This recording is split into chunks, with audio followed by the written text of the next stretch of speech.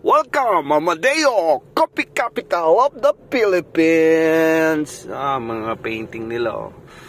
Uwi tayo ng ano, ng ah, kape. Oh, shoutout sa best friend ko, si Jude Liaban. Yan, kapatid niya yung papatato mga tropa niya. Dito yan sa Amadeo. Si Jude yung ano, ah, kabady-body ko nung college. sa lahat ng kalokohan. Ah, di mo pagpagupit, busy. Miss you, Papa Boy. Rest in peace. Ingat ka dyan sa langit. Magpakasaya ka dyan. And yun. ah bukas, pag di ng busy, pagupit na. Yeah. Oh, pasok na tayo sa ating service sa Amadeo. Yun. Advance muna tayo sa gilid-gilid. Yeah.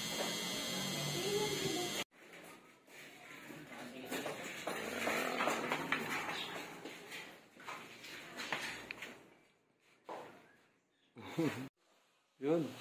Tapos ang ating first. Kamusta boss? Ayos lang? Ayos lang. Ah, food trip muna. Ay, parang Jud. Jud! Tala! Yun. So yun.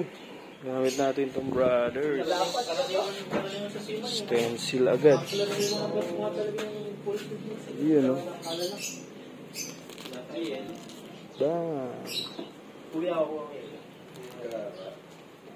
Yun, no? Yeah.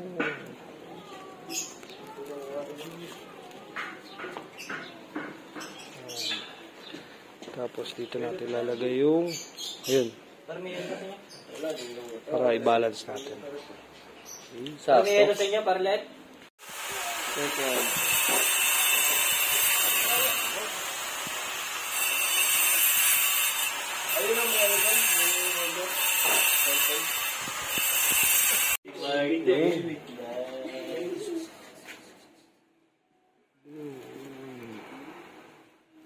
Right? Break muna. Pati na, parang dyan. Whew!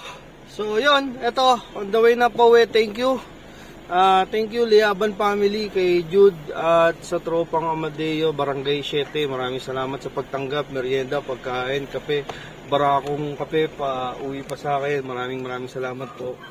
And merong dalawang kliyente na hindi kinaya yung presyo eh. Meron kasi last supper tapos ang budget hindi ganun kalaki hindi are, hindi siya, kumbaga hindi makatwiran yung presyo. Kaya ipon na lang muna. Pwede naman po 'yun.